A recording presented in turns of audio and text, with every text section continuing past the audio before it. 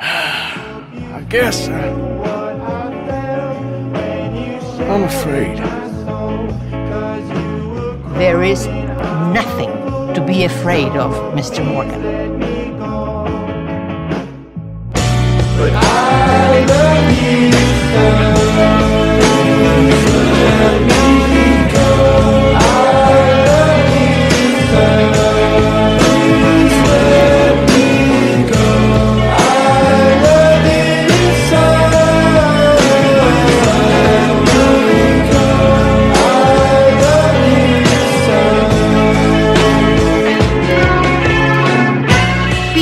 Grateful that for the first time you see your life clearly.